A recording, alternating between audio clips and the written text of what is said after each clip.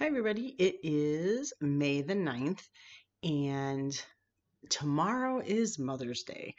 Um, I had a conversation with my youngest son. He was being silly. I was actually sitting there reading my Bible, and he'd come and sit and chat. And it's like, well, I got to have a chat. Um, and he's like, So, are we uh, doing anything tomorrow? I'm like, Nah, going on a picnic, going to state park ah, it seems like something's happening tomorrow. I don't know. I'm like, nope, don't know. We're having that fun game. And he's like, okay, you got to go to bed so that, ah, uh, because I got something going to do. I'm like, well, what are you going to do? Well, I can't tell you. And so it was just really fun. It's like, oh, it's so nice to be remembered on Mother's Day. Being a mother is one of the coolest things that has ever happened to me. Um, it has brought me closer to God in a way that I don't know that I could have done without because so many things in parenthood mirror what God is doing as a holy parent. Um, and it's just amazing. And I might think about that a little bit more tomorrow when it is Mother's Day.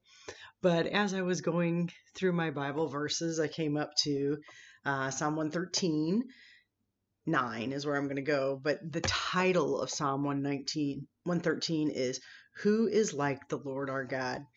And he gives the barren woman a home, making her the joyous mother of children. And that is how I feel heading off to bed here soon and have my joyous life with my amazing children. Being a mother has been wonderful. I didn't have to work for it hard. I've been so blessed with that and you know and I my heart goes out to those who want to be mothers and who have not and I didn't even really appreciate that until after I had kids because I just I had no idea how it changes me. It, it, it changes me emotionally, it physically, I think a chemistry, electric I mean, all across the board. It is one of the best gifts, short of, you know, Jesus as a Savior, that I've gotten. So that's where I am today, anticipating tomorrow. Um, see what uh, lies in store for me, but God is with me in the promise of my babies, and I am extremely thankful for that.